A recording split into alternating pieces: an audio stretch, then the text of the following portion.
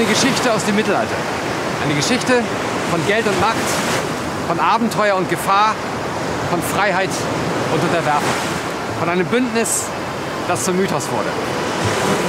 Die Hanse.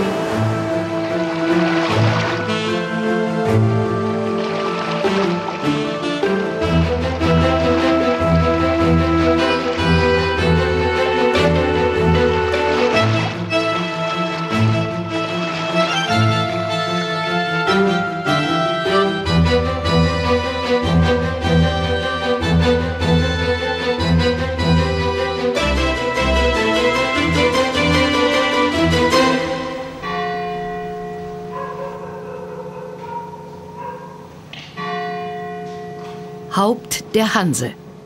Das war Lübeck. Die einfachen Menschen in ihren niedrigen Holzhäusern staunten damals über die eleganten Fassaden der Lübecker Bürgerhäuser. Hier lebten wagemutige Kaufleute, die Waren von nah und fern herbeischafften. Damit waren diese Händler reich geworden. Sie hatten sich zu einem Bund zusammengeschlossen, der zu einer mächtigen Wirtschaftsorganisation anwuchs. Die Hanse.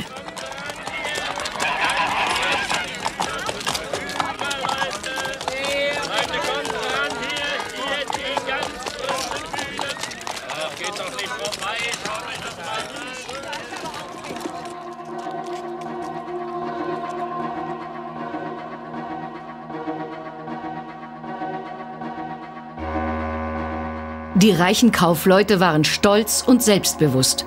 Sogar dann, wenn sie demütig vor Gott erscheinen wollten. Zum Beispiel die Stifterfiguren im Heiligen Geist Hospital zu Lübeck. Wie die zwölf Apostel um Christus herum aufgereiht, als wollten sie sagen, seht her, auch im Himmelreich gebührt uns der beste Platz. So hatte das gemeine Volk diese Pfeffersäcke auch dann im Blick, wenn es zu Gott aufschaute.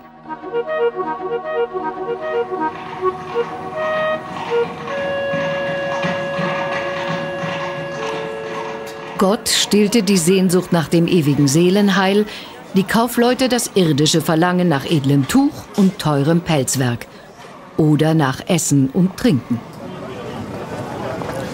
Wir haben hier auf dem Marktplatz in Lübeck mal ein paar Waren aufgebaut, einfach um Ihnen zu zeigen, was bei den ganz normalen Menschen damals so auf den Tisch kam. Das geht hier hinten los mit einem Sack Dinkel aus Dinkel und für das täglich Brot ganz wichtig natürlich Roggen. An ganz besonderen Tagen gab es vielleicht auch mal einen Trockenfisch. Salz, auch schon eher etwas für den gehobenen Standard. Dann hier Obst und Gemüse, je nach Jahreszeit und ganz selten zu ganz besonderen Anlässen dann vielleicht auch mal ein Hühnerei. So, und jetzt kommen wir in die exklusive Abteilung. Das hier sind alles ganz teure Produkte, die von weit her transportiert werden mussten. Nelken zum Beispiel, Zimt, Ingwer oder hier Pfeffer. Das Kilo etwa 240 Lübsche Mark. Ein Handwerker verdiente damals 40 bis 50 Mark, im ganzen Jahr wohlgemerkt. Deshalb nannte man auch die reichen Handelskaufleute Pfeffersäcke. Einen dieser Pfeffersäcke werden wir kennenlernen. Es ist Gerhard Unmaße. Er hieß so, weil er unmäßig reich war. Ein Fernhandelskaufmann aus Köln. Gleichzeitig verwahrte er als Zöllner sämtliche Einnahmen der Stadt und er war Geldverleiher.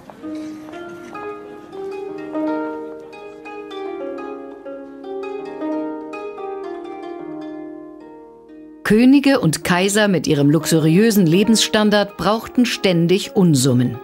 Sie machten überall in Europa Schulden. Kaufleute wie der Kölner Gerhard Unmaße kamen so mit den Mächtigen ins Geschäft.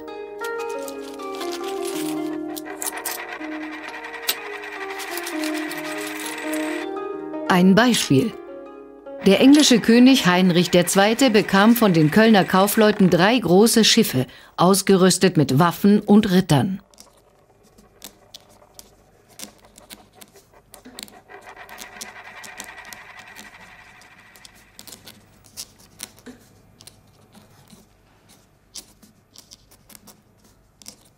Er stellte ihnen ein königliches Privileg aus, dass sie ihre Waren in London frei verkaufen konnten.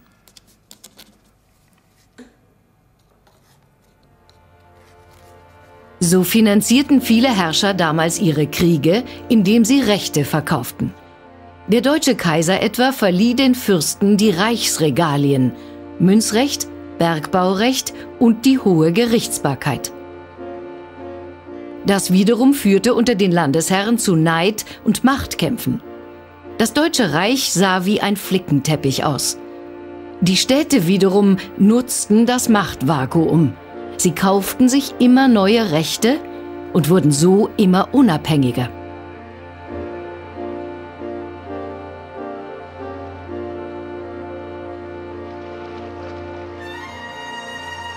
Im 12. Jahrhundert war Köln die mächtigste deutsche Stadt. Der Erzbischof herrschte als Landesherr über gut 20.000 Seelen.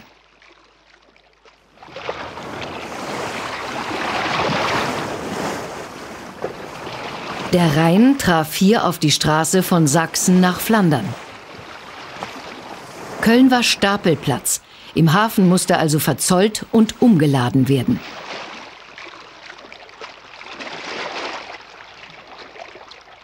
Die unmäßig reichen Kölner Kaufmannsfamilien wie Unmaßes gehörten zur Riecherzeche, zur Genossenschaft der Reichen. Ein einziges ihrer Pfeffergeschäfte konnte so viel kosten wie alle ihre Grundstücke und Häuser zusammen. Sie achteten streng darauf, dass ihnen weder die großen Handwerkszünfte noch die wohlhabenden Weinbauern ins Gehege kamen.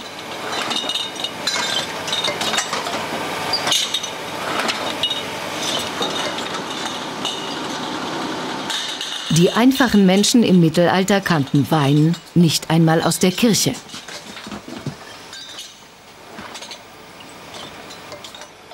Bei den Reichen jedoch stand Wein täglich auf dem Tisch. Gerade Rheinwein, nicht naturrein, sondern mit Zucker gesüßt und mit orientalischen Gewürzen verfeinert, mit Zimt, Ingwer oder Nelken.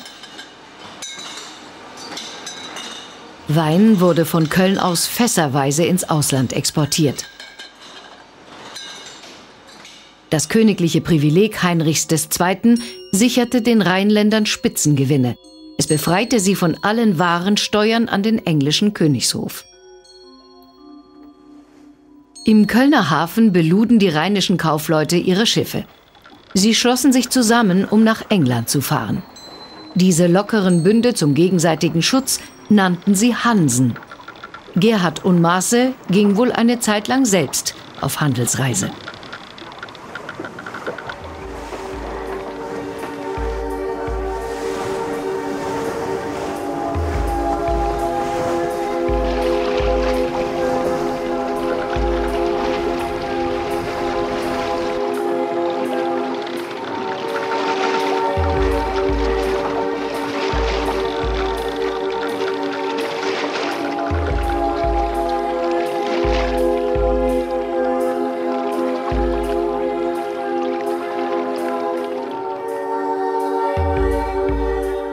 Sicher lernten Kaufleute wie Unmaße in London die Guildhalls der englischen Kaufmannsgilden kennen. Die Kölner wollten eine eigene Gildehalle auf englischem Boden, als Warenlager und für Versammlungen, eine Art Schutzburg im Ausland. 1194 hatten sie ihr Ziel erreicht. Direkt am Ufer der Themse durften sie ihre Halle errichten. So wie dieses alte Hansehaus sah sie einmal aus. Die Gildehalle der Kölner wurde zur Keimzelle für das Londoner Kontur der Hanse. So wie die einzelnen Kaufmannshansen Vorbild für den großen Hansebund waren.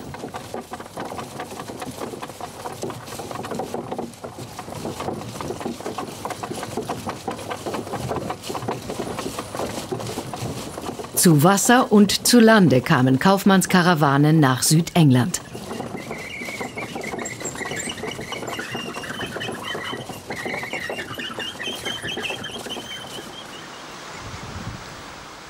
Sie alle hatten das gleiche Ziel, die englische Wolle, einer der wichtigsten Rohstoffe überhaupt.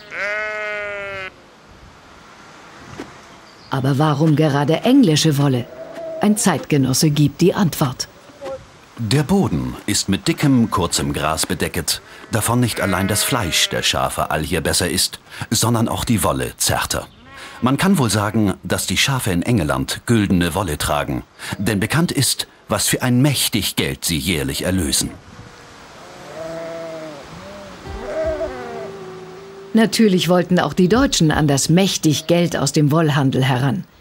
Sie besuchten die großen Wollmessen in Boston, Kings Lynn oder Westminster. Sie schafften es schließlich, die wichtigsten Exporteure für englische Wolle zu werden.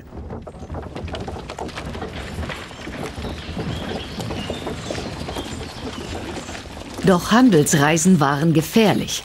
Jeder kannte die Gruselgeschichten von Räubern und Wegelagerern. Die Kaufleute erfuhren dies oft genug am eigenen Leib.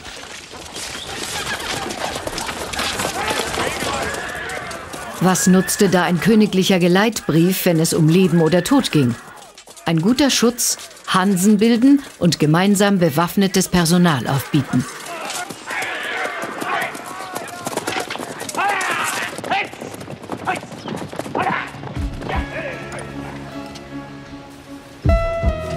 Dort, wo keine Wagen fahren konnten, bepackten die Händler ihre Saumtiere.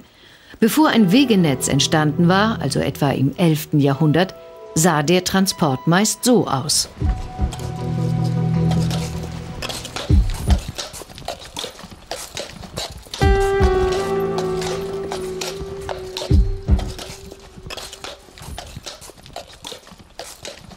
Mit so einem Saumtier kann man nur sehr langsam voran, etwa 30 Kilometer am Tag.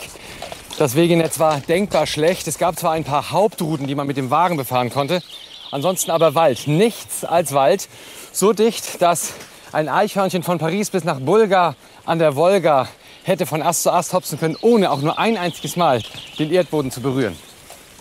300 bis 400 Jahre später sah das alles schon ganz anders aus. Der Wald war so weit gerodet, dass man von der Kirchturmspitze des einen Dorfes die Kirchturmspitze des anderen Dorfes erkennen konnte. Die Bevölkerung hatte sich verfünffacht auf 13 oder 14 Millionen Menschen.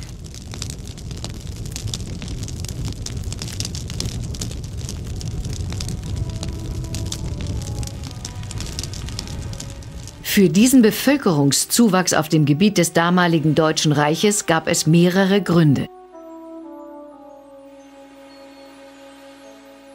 Zum einen das Klima. Jahrzehntelang milde Winter, warme Sommer.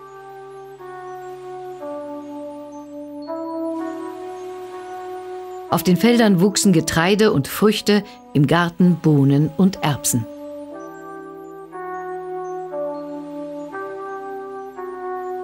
So viel Essen ließ Mensch und Tier gedeihen.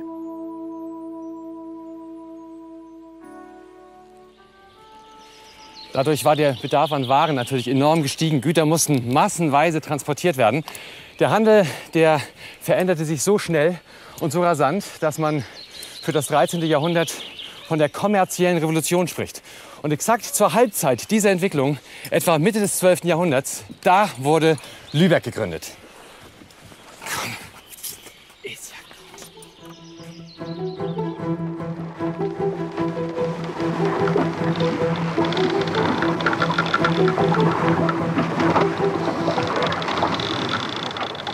Die Gründung Lübecks war ein genialer Schachzug für das gesamte Deutsche Reich. Damit hatte es zum ersten Mal direkten Zugang zur Ostsee. Der Startschuss für den schwunghaften Handel im gesamten Ostseeraum. Das witterte auch Herzog Heinrich der Löwe und riss die neue Stadt an sich. Der Herzog sandte Boten in die Hauptorte und Reiche des Nordens und bot ihnen Frieden, dass sie Zugang zum freien Handel in seiner Stadt Lübeck hätten. Von der Zeit an gedieh das Leben in der Stadt und die Zahl ihrer Bewohner vervielfachte sich.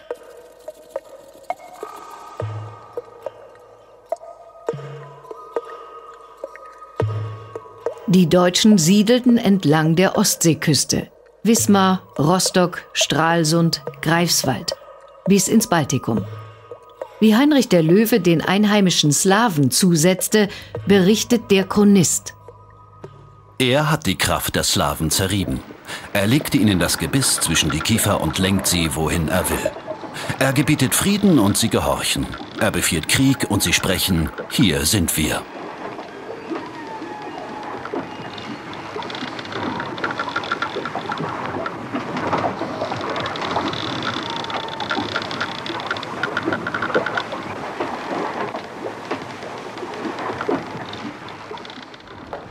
Um die Ostsee zu erschließen, brauchte man Schiffe. Breitbauchig und stabil. Koggen. Die Menschen im Mittelalter staunten nicht schlecht, wie groß sie waren. Zuhauf strömten Arbeitskräfte in die Stadt. Als Schiffszimmerleute, Segelmacher und als Ankerschmiede.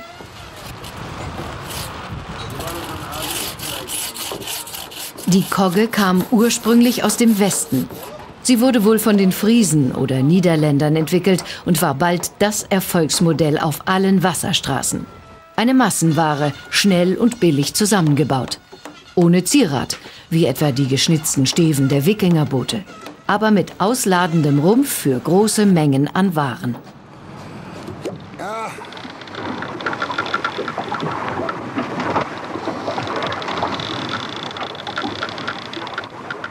Die Seeleute mussten tagsüber auf der Kogge richtig schuften.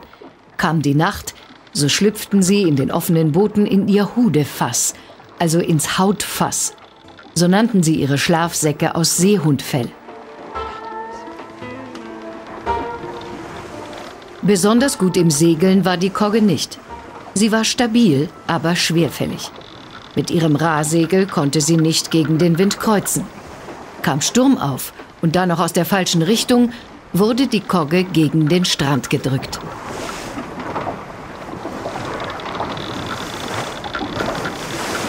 Die Koggenbesatzung navigierte fast ohne Technik.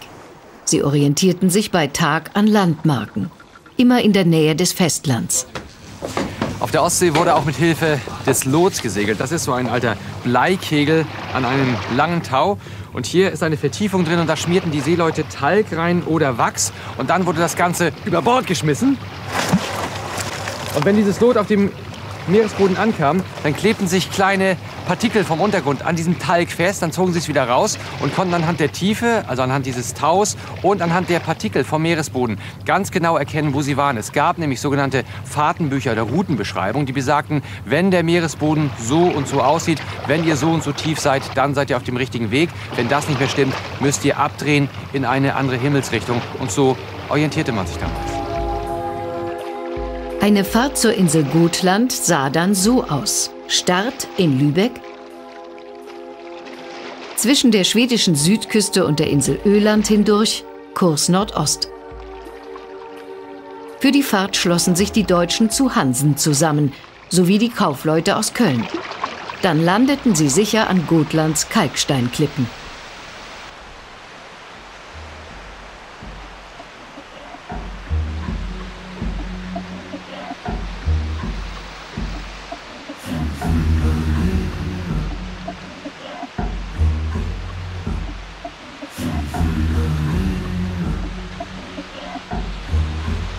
Im Schutz dieser Klippen entstand einst ein heiliger Bezirk, umzäunt von starken Planken. Und Sveas König weihte den Platz mit Opferblut und machte ihn zu einem Wie, zu einem sakralen Ort. Menschen aus ganz Gotland zog es hierher, um die magische Kraft des Odinsgeschlechtes zu empfangen.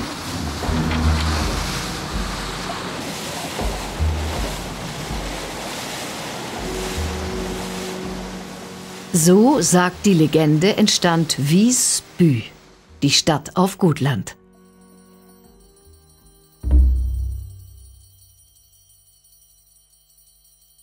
Visby war damals bereits ein großer Ort, der Umschlagplatz für die begehrten Pelze aus Russland.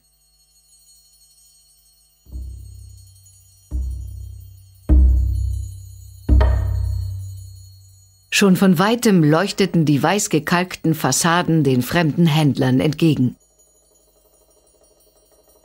Die größte Gruppe davon waren die Deutschen.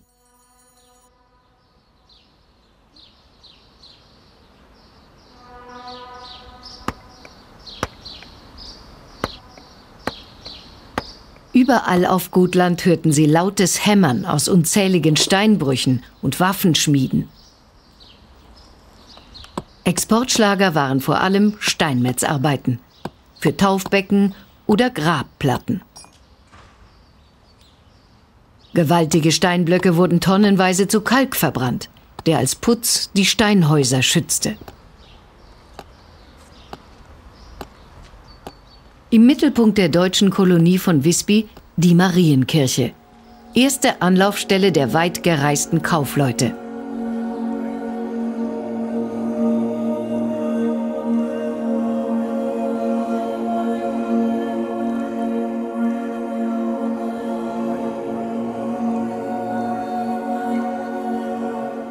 Maria mit dem Kind war als Schutzheilige eine mächtige Verbündete. Sie wachte über die Seelen der Gläubigen und über die Waren unter dem Dach der Kirche. Ein idealer Speicherplatz, gut geschützt vor Feuer und Dieben. Hier lagerten sämtliche Handelswaren der deutschen Kaufleute. Einen davon kennen wir mit Namen, Odelrich wahrscheinlich ein Lübecker Kaufmann. Er kam wohl in der Mitte des 12. Jahrhunderts nach Gotland. Sein Name tauchte auf, als Deutsche und Gotländer heftigen Streit hatten.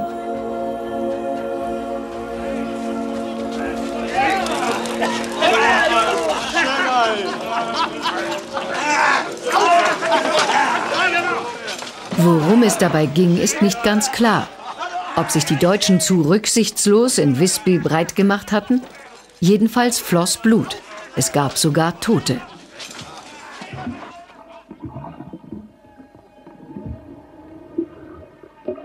Heinrich der Löwe wurde als Vermittler eingeschaltet. Er unterschrieb den Artlenburger Vertrag, den die Kaufleute zuvor ausgehandelt hatten. Gleiche Rechte für die Gotländer in Lübeck wie für die Lübecker auf Gotland. In Visby sollte ein Vogt die Interessen der Deutschen vertreten. Dieser erste Vogt und Botschafter der Hanse war Odelrich.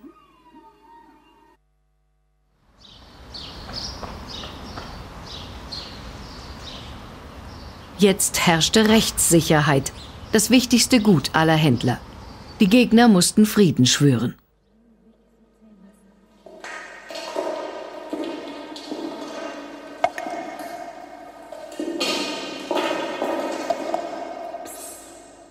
Aber der Friede stand auf tönernen Füßen. Denn Gotland war das Tor zum russischen Novgorod. Dort lockte das Pelzgeschäft. Es galt als goldener Brunnen des Handels. Daraus wollten die einheimischen Kaufleute aus Gotland natürlich allein schöpfen. Sie hatten einen Exklusivvertrag mit Fürst Jaroslav, dem Herrscher über Novgorod.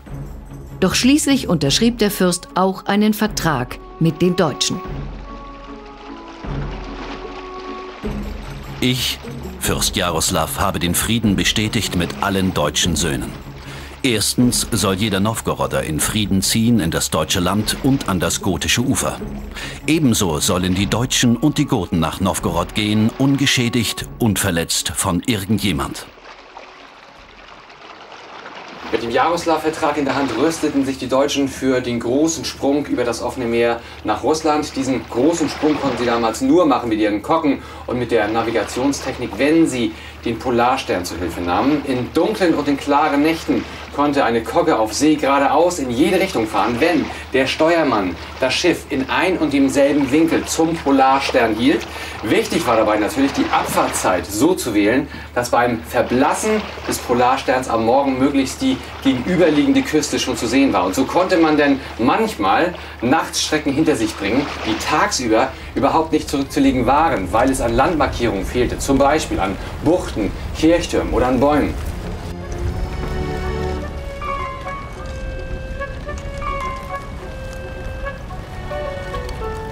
Im Frühjahr, wenn das Eis brach, zogen die Schiffskarawanen über den Fluss Wolkow. Eine Reise in das wilde Russland nach Novgorod.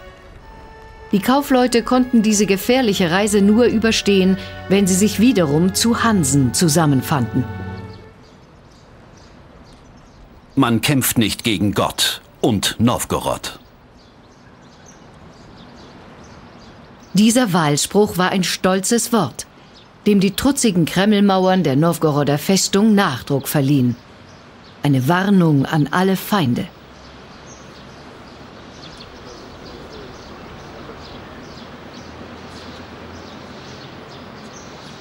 Eine Stadt voller Widersprüche.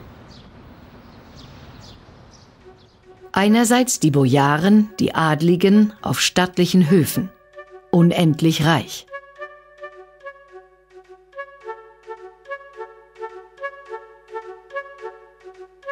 Denn sie hatten ein riesiges Gebiet bis weit nach Sibirien hinein tributpflichtig gemacht.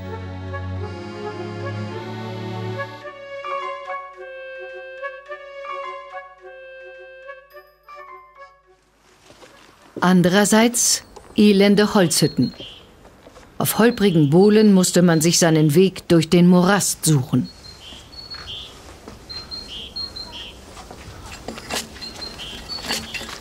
Mit Argwohn sahen die Novgoroder, wie die Hanse-Kaufleute ihren eigenen Wohnbezirk, den Peterhof, bauten. Sie gruben Entwässerungskanäle gegen den Schlamm bis zum Flussufer hinunter. Von dort aus lugte nur die Turmspitze der St. Peterkirche hervor. Die Blockhäuser der Deutschen duckten sich hinter einem mächtigen Palisadenzaun, eine Wehrmauer. Denn nichts war größer als das Misstrauen zwischen Deutschen und Russen. Der deutsche Chronist urteilte überheblich. Wenn man die Russen nach ihren Gemütern, Sitten und Leben betrachtet, sind sie billig unter die Barbaren zu rechnen. Ihre Scharfsinnigkeit und List geben sie beim Kaufen und Verkaufen sattsam zu verstehen, da sie allerhand Ränke, den Nächsten zu betrügen, ersinnen. Doch wer sie betrügen will, muss ein gut Gehirn haben.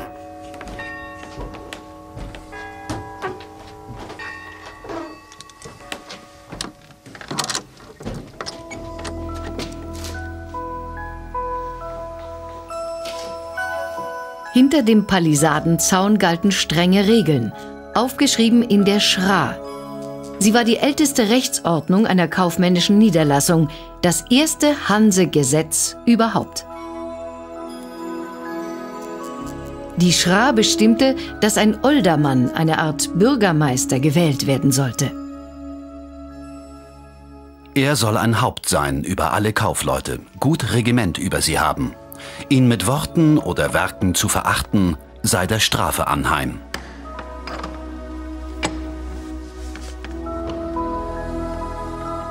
Dem Oldermann standen vier Weise zur Seite. Sie verwahrten vier Schlüssel zur gemeinsamen Geldkiste. Nur alle vier zusammen konnten die Kiste öffnen.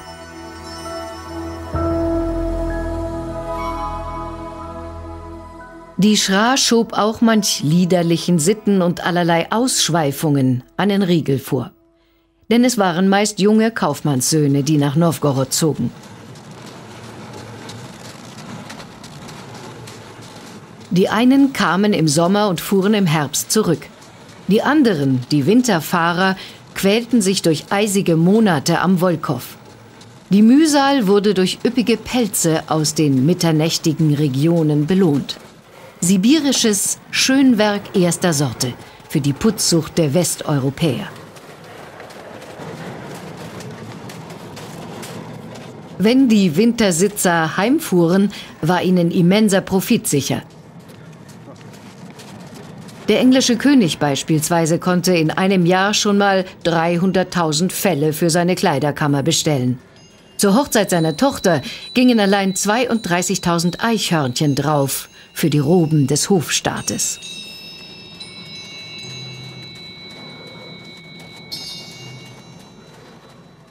Aus den unendlichen Wäldern Nowgorods kam auch Nachschub an Hermelin, Zobel und Marder.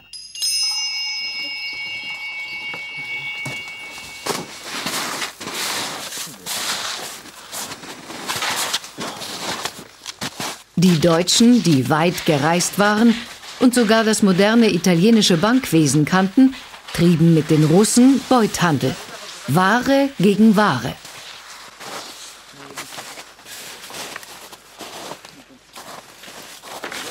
Ganz archaisch ging es zu beim stummen Handel. Die Jäger deponierten die Felle an bestimmten Tauschplätzen. Die russischen Kaufleute legten ihre Ware nach Gutdünken neben den Feldstapel. Waren die Jäger einverstanden, entfernten sie sich ungesehen mit der Ware. Wenn nicht, musste der Kaufmann noch was drauflegen. Gejagt wurde mit Pfeil und Bogen. Für die kleinen Pelztiere nahmen die Jäger stumpfe Pfeile, damit das Fell keine Löcher bekam. Mit Stockschlägen an den Baumstamm wurden die Tiere aus dem Winterschlaf geweckt.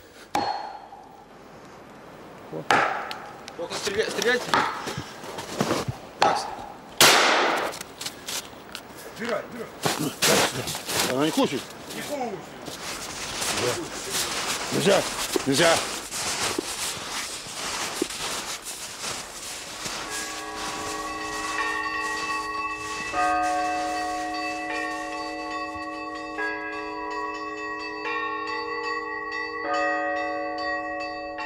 Neben den Pelzen waren Wachs und Bernstein die wichtigsten Handelswaren.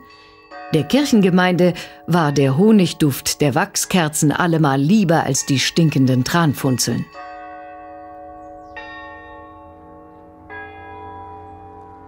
Jaroslav-Vertrag und Peterhof waren von epochemachender Bedeutung.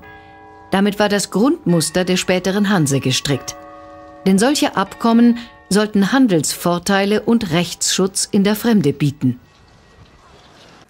Leider waren die Verträge oft nicht das Pergament wert, auf dem sie geschrieben waren. Das mussten die Kaufleute am eigenen Leib erfahren. Die Gesetzestexte konnten einfach nicht Schritt halten mit der Wirklichkeit. So wurden zum Beispiel in Novgorod die Kaufleute oft für die Vergehen anderer Deutscher zur Rechenschaft gezogen. Und so kam es, dass im Laufe der Jahrhunderte viele deutsche Hansekaufleute im Gefängnis von Novgorod starben.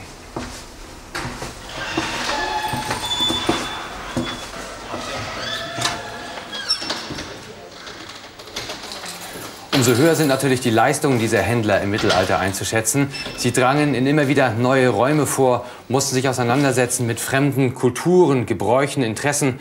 Zwischen dem alten und archaischen Novgorod und dem Welthandelsplatz Brügge klafften auch Welten. In Novgorod wurde noch Beuthandel betrieben, das heißt, es wurde Ware gegen Ware getauscht. Da hatten die Italiener in Brügge schon längst ihr Bankwesen etabliert. Aber die Kaufleute, die in Brügge zusammenkamen, waren natürlich interessiert an den Waren aus dem Ostseeraum und aus Russland.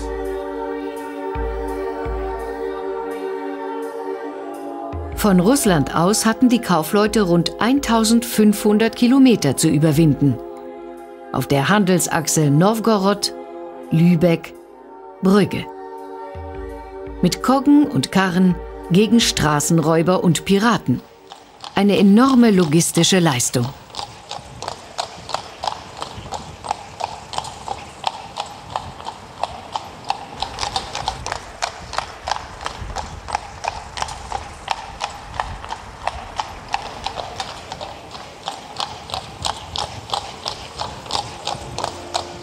Das reiche Brügge. Alle wichtigen Handelsnationen machten hier Geschäfte. Die Italiener mit ihrem bargeldlosen Finanzsystem, die Spanier mit ihren stolzen Schiffen, die Franzosen mit der neuesten Mode. Die Erzeugnisse der Mittelmeerländer und aus dem fernen Orient im Tausch gegen die Rohstoffe des Nordens und Ostens. Denn Brügge ist der Marktplatz jederzeit für alle Länder der Christenheit.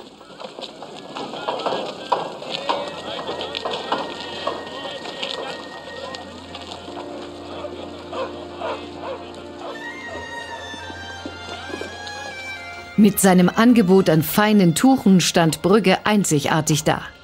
Farbenfrohes Wolltuch und die typische Seie, ein preiswertes Unterfutter. Natürlich Brokat und Seide für die adligen Kunden. Außerdem konnte der modebewusste Herr jener Jahre auf die Brügger Strumpfhosen nicht verzichten. Denn, so reimte der Chronist, Brügge, dein Hosenmachergewerbe kleidet die Beine der Großen der Erde.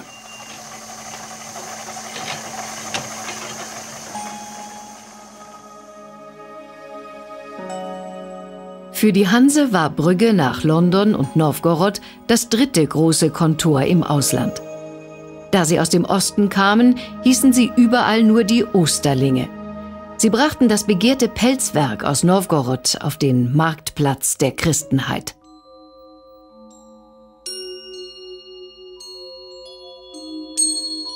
In Brügge wohnten sie bei den reichen Bürgern oder einheimischen Kaufleuten. War der deutsche Gast einmal unterwegs, hatte sein Wirt alle Geschäftsvollmachten, manchmal sogar den Schlüssel zur Kasse.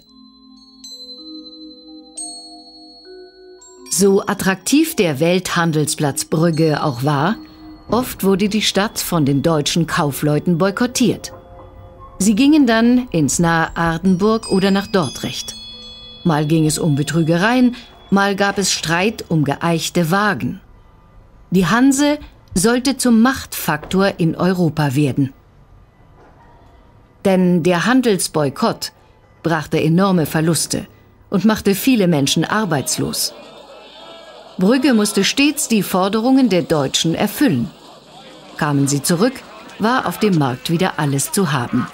Vom feinsten Seidenstoff über den Hering bis hin zum Stockfisch.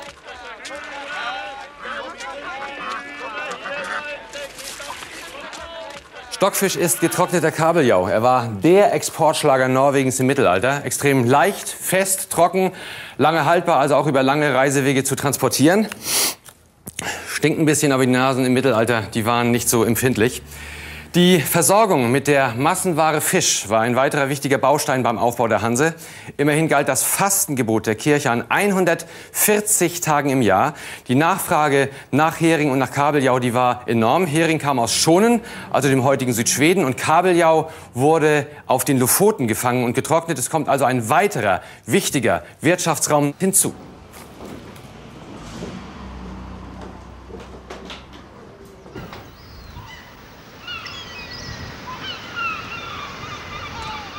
Meter hoch ragen die Trockenfischgestelle entlang der norwegischen Lofotenküste auf, 200 Kilometer nördlich des Polarkreises. Einst geriet der venezianische Kaufmann Pietro Querini in einen fürchterlichen Sturm. Sein Boot zerschellte, die Ware ging verloren.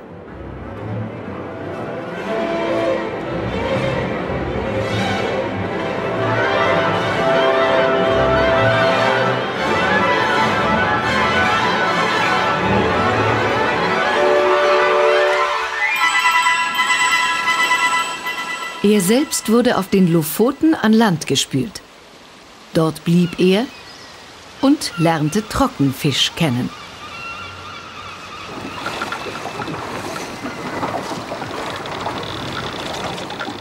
Er sah, wie Tausende gleichzeitig in den Februarstürmen die Bootsreise zu den Lofoten wagten. Für diese Männer war die Fischerei so etwas wie eine Lebenslotterie. Entweder gewann man in zwei Monaten genug zum Leben für das ganze Jahr, oder Hunger und Schulden waren die Begleiter bis zur nächsten Saison.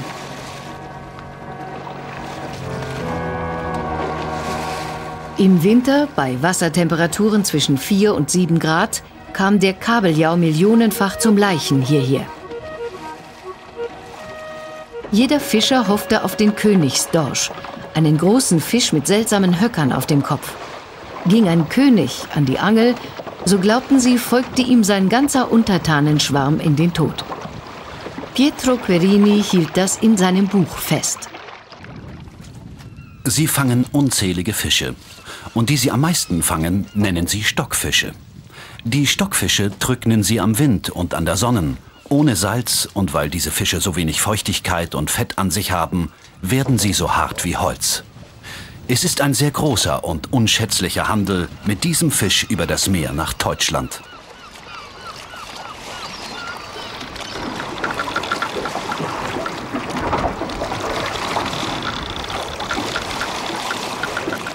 Bis zu 6000 Tonnen Stockfisch pro Jahr wurden von Norwegen aus exportiert. Dafür mussten die Fischer gut 40 Millionen Kabeljau oder Dorsche aus dem Wasser ziehen.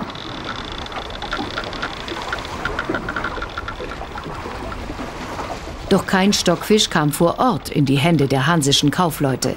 Der unschätzliche Handel, so hatte es der norwegische König bestimmt, musste über Bergen laufen, der Steuereinnahmen wegen. Darum machten die Norderfahrer zweimal im Jahr die 1000 Kilometer lange Reise nach Bergen zu den Handelsmessen. Neben Schonen mit seinen Heringen war Bergen mit dem getrockneten Kabeljau der größte Fischmarkt der mittelalterlichen Welt.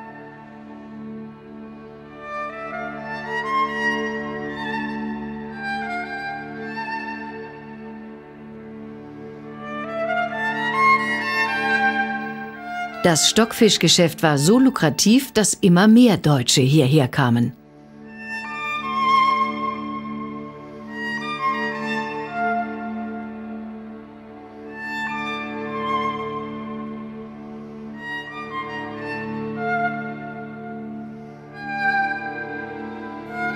Wie in Visby oder Novgorod versuchten sie auch hier die Konkurrenz mit rüden Methoden auszuschalten.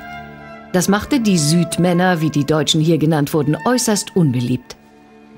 So schreibt der Chronist bereits in der Sverre-Chronik aus dem Jahr 1168 Wein hatten die Südmänner so reichlich herbeigeführt, dass er wohlfeil wie Bier war. Da sah man Trunkenheit über alle Maßen und blutige Schlägereien, das Verbrechen wie Scherz erschien. Und König Sverre sprach im Zorn, die Deutschen, die in großer Zahl und mit großen Schiffen hierher gesegelt sind, die Butter und Fisch aufkaufen und Wein bringen, über sie muss ich sagen, dass sie großes Unheil anrichten mit ihrem Handel. Deshalb sage ich den Deutschen großen Undank für ihr Kommen. Und wenn ihnen ihr Leben und ihre Waren etwas wert sind, so sollen sie auf das Schnellste sich fortmachen. Denn ihr Treiben gereicht nur zum Unheil über uns und unser Reich. Doch die Deutschen ließen sich weder aus Bergen vertreiben noch aus den anderen Städten. Einem Kraken gleich breiteten sie sich über Nordeuropa aus bis in die entlegensten Winkel hinein. Bei ihrer Expansion hatten sie eines gemerkt. Gemeinsam sind wir stark. Aus diesem Motto, aus den einzelnen Hansen, sollte im Laufe der Zeit ein mächtiger Städtebund werden.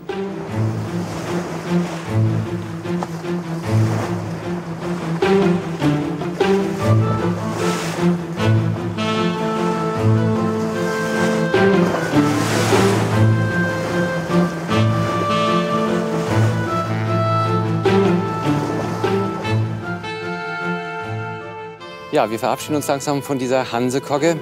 So wie das Modell Kogge aus dem Westen stammt, so stammt auch das Modell Hanse aus dem Westen, nämlich aus den mittelalterlichen Städten zwischen Somme und zwischen Rhein. Aber weder die Hansen, die von Köln aus nach England oder Bergen starteten, noch die Gemeinschaft der Gotlandfahrer aus Lübeck oder Visby nannten sich selbst die Hanse. Man kannte sich gegenseitig, man tauschte Erfahrungen aus, aber zur globalen Organisation, zum Städtebündnis, die Hanse, kam es erst im letzten Drittel des 13. Jahrhunderts.